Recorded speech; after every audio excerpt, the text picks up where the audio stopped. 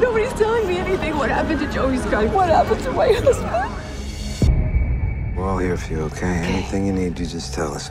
We're gonna find the suckers who did this, mark my words. He had a lot of enemies, and unfortunately, his dirt caught up with him. I know he was your partner.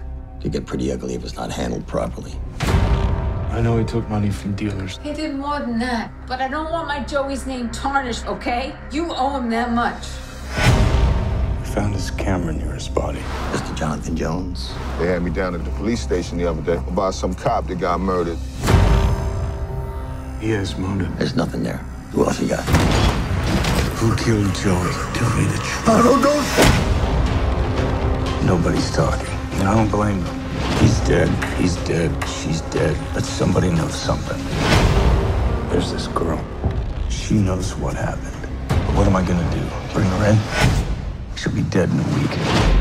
This is their plan. Harass me to death. They think he killed a cop. Your partner was not a good guy. We're dropping the investigation. And what about Jonathan Jones? Let it go.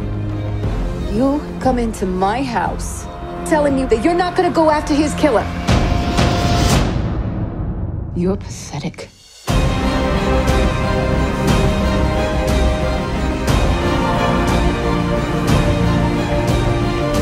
It's all over now. Almost. One more loose end.